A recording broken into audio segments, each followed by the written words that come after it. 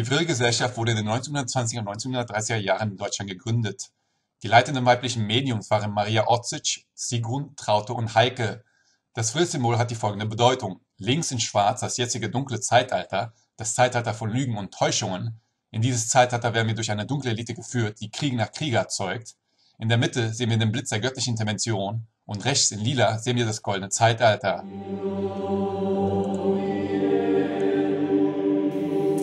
Liebe Landsleute, diesmal möchte ich ein Video machen über die Riesen, die angeblich vor langer Zeit mal auf der Oberfläche der Erde gelebt haben sollen. Nach Jan Udehollises Buch Die innere Welt existieren diese Art von Riesen oder Riesengeschlecht noch im Innern der Erde von Agatha. Die Mythen und Legenden von Riesen gibt es in jedem Volk dieser Welt. Also nach dem Video werdet ihr vermutlich die Möglichkeit in Betracht ziehen, dass es wirklich Riesen in der Innenwelt gibt und es vor langer Zeit auf der Oberfläche der Erde gab. Es gibt Filme und Serien, die Riesen zeigen, so wie zum Beispiel Jon Snow in The Game of Thrones.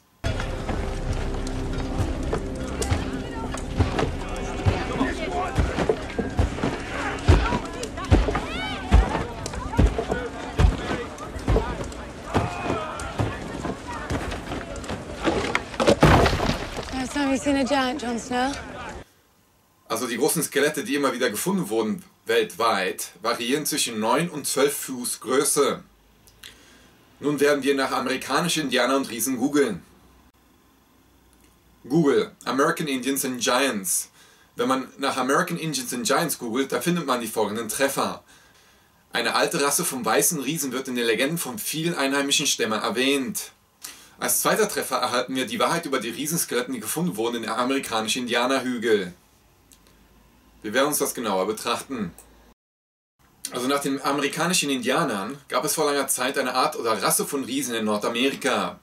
Wir werden uns jetzt kurz eine Webseite anschauen, die auch von Riesen spricht, in der Stadt Wisconsin in der USA. Und wir lesen, die große Smithsonian-Verheimlichung oder Vertuschung. 18 Riesenskelette gefunden in Wisconsin.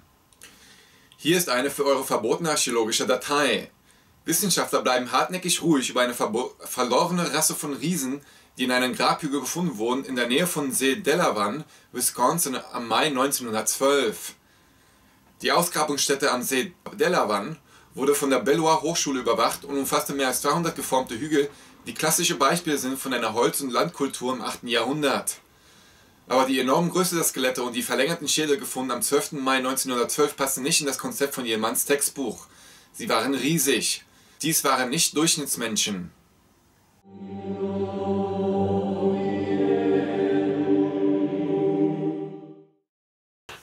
Erst wurde darüber berichtet am 4. Mai 1912 in einem Artikel der New York Times, dass 18 Skelette durch die Brüder Peterson gefunden wurden in der Nähe von See Lawn Farm, südwest von Wisconsin. Deren Größe variierte zwischen 7,6 und 10 Fuß oder zwischen 2,3 und 3 Meter. Selbst in der Bibel werden Riesen erwähnt. Genesis 6,4 In jeden Tagen waren die Riesen auf der Erde und auch nachher, als die Söhne Gottes zu den Töchtern der Menschen eingingen und diese ihnen gebaren. Das sind die Helden, welche von alters her waren, die Männer von Ruhm gewesen sind. Und weiter lesen wir, über 200 Riesengräber wurden in den letzten Jahren gefunden. Riesenskelette wurden nicht mehr in den nationalen Nachrichten erwähnt seit mindestens 1950.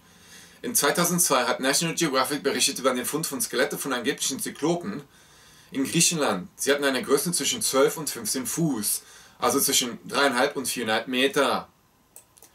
Und weiter unten sehen wir den Artikel von der New York Times Zeitung. Es beschreibt den Fund der Riesenskelette in einem Hügel in der Nähe von See Delaware in Wisconsin, Amerika.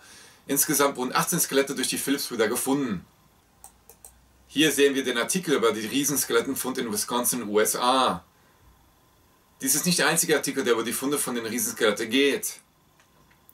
Wir werden, uns, wir werden uns eine weitere Website anschauen, wo viele dieser Zeitungsberichte zusammengetragen worden sind. Hier sehen wir Zeitungsberichte der USA, die angeben, dass es sehr oft Hügel oder Gräber von Riesenskeletten gefunden worden sind. Hier links können wir lesen, Wisconsin-Hügel geöffnet. Skelett gefunden von einem Mann, der über 9 Fuß oder über 2,70 Meter groß ist, mit einem enormen Schädel. Maple Bach, Wisconsin, 19. Dezember 1897. Einer der drei von Kursen entdeckten Hügel in der Stadt wurde eröffnet. Es wurde ein Skelett eines Mannes gefunden von unglaublicher Größe. Die Knochen maßen von Kopf bis zum Fuß über 9 Fuß lang, über 2,70 Meter. Es waren in einem guten Erhaltungszustand. Der Schädel war so groß wie eine halbe Scheffel groß, rund 18 Liter. Einige fein temperierten Stäbe und Kupfer und andere Relikte lagen neben den Knochen. Der Hügel, von wo diese Relikte stammen, ist 10 Fuß hoch, 3 Meter, und 30 Fuß lang, 9 Meter, und variiert zwischen 6 und 8 Fuß breit. Die zwei Hügel von geringerer Größe werden auch bald ausgegraben. In den Artikel rechts können wir lesen, dass bei Ausgrabungen an einem Hügel in Centerburg, Ohio, am 5. Mai 1885 wurden vier große Skelette geborgen. Drei Skeletten waren über 7 Fuß groß, also 2,10 Meter groß, und eine über 8 Fuß groß, über 2,40 Meter. Der Artikel stammt von der New York Times Zeitung und wurde veröffentlicht am 5. Mai 1885.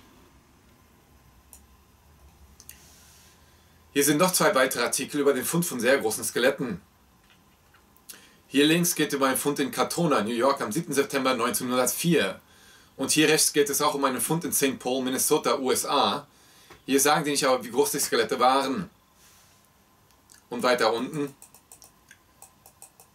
wie ihr sehen könnt, gibt es viele solcher Zeitungsberichte über den Fund von Riesenskeletten auf dieser Webseite. Und hier können wir lesen, Riesenskelette gefunden. Artikel stammt aus der Zeitung der New York Times vom 11. Februar 1902. Archäologen werden eine Expedition versenden nach New Mexico, wo sie die Gräber erforschen werden. Los Angeles, der 10. Februar.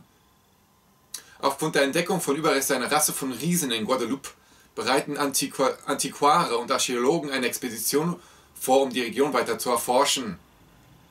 Diese Bestimmung wird auf der Grundlage der Aufregung der Menschen, die im Kreis um Mesa Rico, ungefähr 200 Meilen Südosten von Las Vegas, wo eine alte Grabstätte entdeckt wurde, wo Skelette von unglaublicher Größe gefunden wurden. Luciana Quintana, auf dessen Ranch die Grabstätte gefunden wurden, entdeckte zwei Steinplatten mit merkwürdigen Schriften und Symbole und unter den Platten in niedriger Tiefe fand er die Knochen mit einem Rahmen, das nicht weniger als 12 Fuß, also 3,70 Meter groß war. Die Männer, die die Graben geöffnet haben, sagen, dass der Unterarm 4 Fuß, 1,20 Meter lang war und dass die gut erhaltenen Unterkieferzähne und Kiefer der Größe von einer Hickory-Nuss bis zur Größe der größten Walnuss waren. Die Brust des Skeletts wurde uns vermittelt, dass es einen Umfang hatte von 7 Fuß.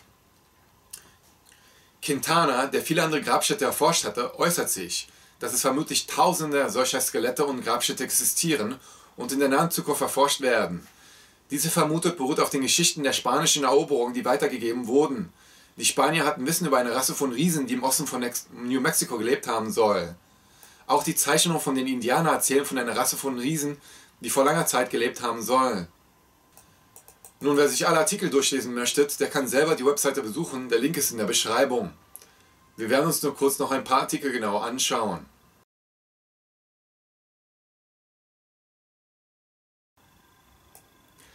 Two very tall skeletons found. Zwei sehr große Skelette gefunden. Wieder die Zeitung der New York Times. Datum des Artikels ist der 10. August 1880.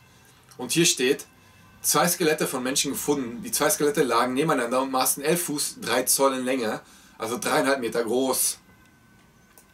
Und weiter unten, hier sehen wir San Antonio Express und lesen wir Strand-Riesenschädel gefunden.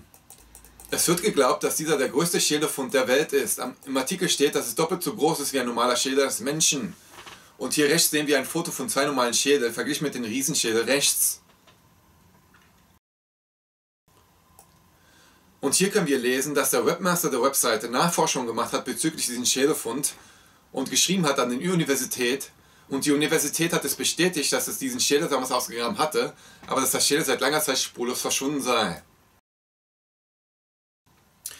Nun, was beweisen uns diese Zeitungsberichte? Vor 100 Jahren hat man noch regelmäßig über solchen Riesenskelette berichtet.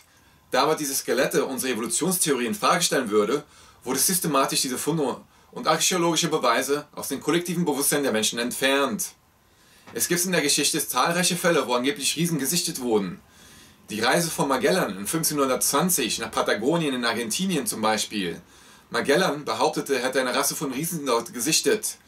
Damals war die Evolutionstheorie nicht so weit verbreitet oder es gab sie einfach noch nicht und wurden, also wurde über die Existenz von Riesen noch offen diskutiert. Hier könnt ihr ein Bild sehen, das damals gemacht wurde von den angeblichen Riesen, die sie in Patagonien begegnet sind. Patagonien ist ein sehr dünn besiedeltes Landstück im südlichen Teil von Argentinien.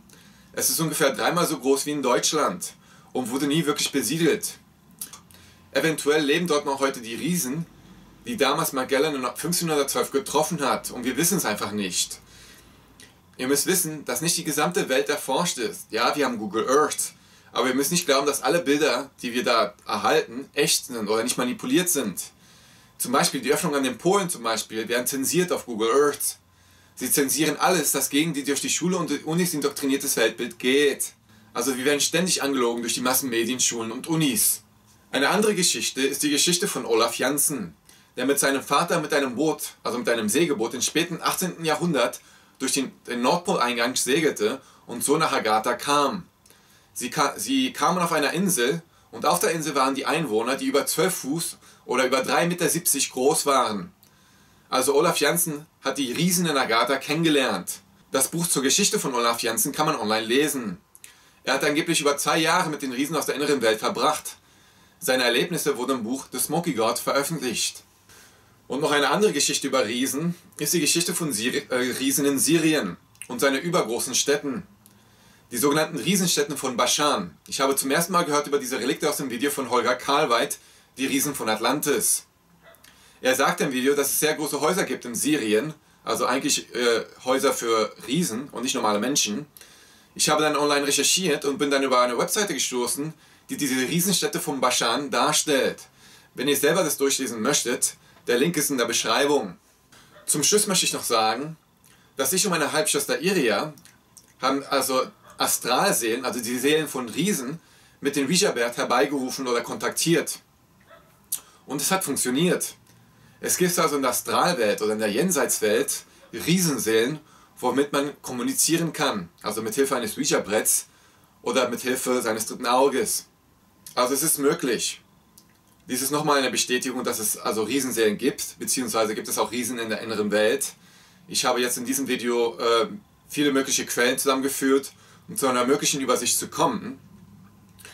Und ich glaube schon, dass es eine Art von Riesen gibt in der Welt und es vor langer Zeit auf der Oberfläche der Erde auch gegeben haben sollte. Ne?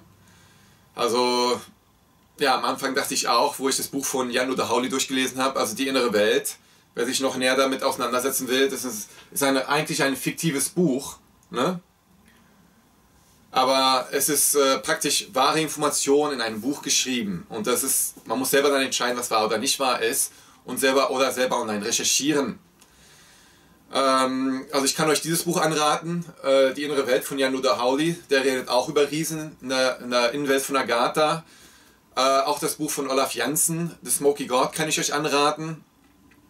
Und noch ein Buch, das mich auch fasziniert hat, ist das, äh, also das Tagebuch von Admiral Richard Evelyn Byrd, der angeblich mit seinem Flugzeug damals in die Südpolöffnung durchgeflogen ist, 1947, und ist in Neu-Berlin gelandet und äh, hat dort die Reichsdeutschen getroffen.